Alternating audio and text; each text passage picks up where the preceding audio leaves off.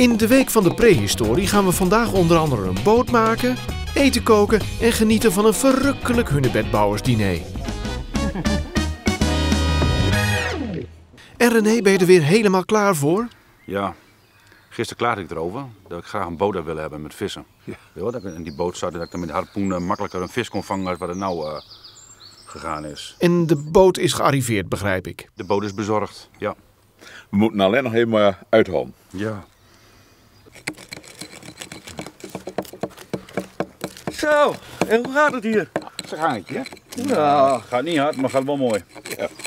nou, nog mooi zo doorkappen en dan is hij over twee maanden wel klaar. Twee maanden. Dit is een kastanje en de stam zelf weegt dus 1100 kilo. Door daar een vuur op te gaan stoken, brand je langzaam de boomstam in. En dan ga je dus met vuurstenen bijlen, ga je hem dus uitkappen. Als je hem dus helemaal uitgehold hebt, wordt de kano dus een stuk lichter van. Dan kun je hem dus omdraaien en dan kun je dus de onderkant gaan bewerken. Want er zal natuurlijk wel een punt aan moeten aan de kano, anders zal die niet willen varen. Ik ben altijd iets in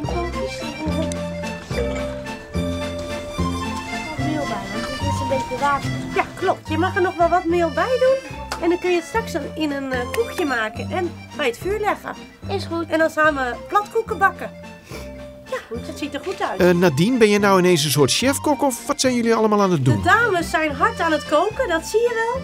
Op dit moment worden de vissen eh, bereid. Er worden vissen gerookt. Maar er wordt ook allerlei soep gemaakt. Eh, koekjes worden er gebakken, eigenlijk van alles. En hier kun je zien wat de mensen in de prehistorie allemaal aten. De hunebedbouwers aten voornamelijk granen, want dat geeft heel veel energie. Maar ze zullen ook heel veel kruiden hebben gegeten. Dan moet je bijvoorbeeld denken aan onkruid, wat je nu uit de tuin plukt. Dat aten ze gewoon. En heel veel vlees, er zit natuurlijk ook heel veel energie in. In de prehistorie denken we dat ze in potten hebben gekookt. De hunebedbouwers hadden potten, dus dat kan ook. Maar we weten dat ze in de prehistorie natuurlijk ook eh, op andere manieren hebben gekookt. En wij denken dat ze onder andere met leem hebben gekookt. Hier zie je dat een, eh, een schaaltje wordt gemaakt om een ei heen. En daardoor kan je eigenlijk een ei op prehistorische wijze koken. Je doet hem, het ei eromheen en je legt hem in het vuur en maakt een kruisje in het ei. En daardoor kook je hem aan alle kanten. In de prehistorie vinden we ook sporen dat alle spullen die ze aten gewoon in één pot werden gelegd en gewoon eh, water erbij werd gedaan en gewoon werd gekookt. En waarschijnlijk dit vieze stoofpotje hebben ze de hele dag gegeten.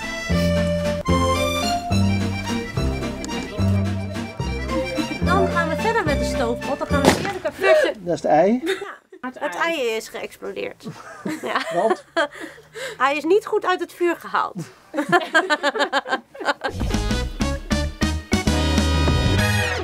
Hunebedbouwers. Ze wisten van enorme stenen hunebedden te bouwen. Maar hoe kregen ze dat voor elkaar? Wij gaven zes sterke kerels de opdracht een flinke steen te verplaatsen. Een kleintje vergeleken met de stenen van de hunebedbouwers, maar toch, zie je maar eens van zijn plaats te krijgen. Moet anders wat bedenken, mannen. Hefboom hebben we gehad. Touw hebben we gehad. Rollen wil niet. En we moeten nog eh, Rollen? twee kilometer. Rollen. Rollen. Ja, maar we kunnen ook anders gaan rollen. Hoe dan? Boomstammen. Boomstammen.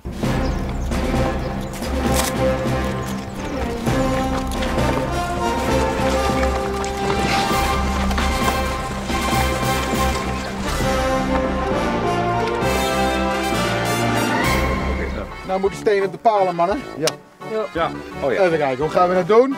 Ik denk die hefboom er weer bij. Oké. Goed idee. Moet er nog een touw bij? Zullen we het eens zo proberen? Ja. Proberen. Ja. Ga ik, ga ik wel trekken? Ja. Huppakee.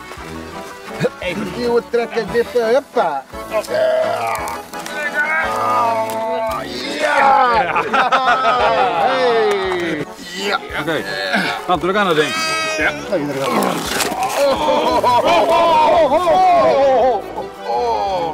Hij is er weer af, mannen. Morgen proberen de mannen weer een nieuwe methode.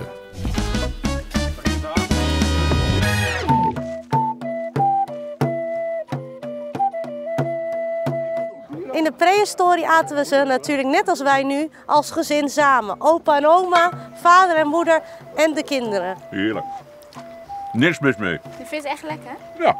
Maar soms, heel soms, kwamen ze met z'n allen bij elkaar. Meerdere gezinnen uit meerdere nederzettingen kwamen bij elkaar voor een feestje. Of misschien wel een belangrijk moment. Denk maar eens aan een geboorte, een overlijden.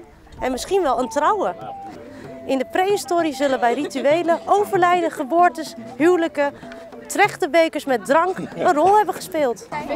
René, vind je het nog wel leuk, de prehistorie? Ach ja, ik baal er af en toe flink van. Wat een gedoe, man. Jongen, jongen, jongen. Maar eh, met een, eh, een biertje, een prehistorisch biertje in de hand, begin me toch wel aardig thuis te voelen hier. Proost.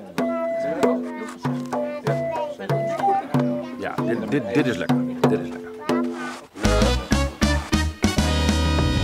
Morgen gaan onze hunebedbouwers naar bed en de volgende morgen ontbijten met hun zelfgebakken brood. Droog.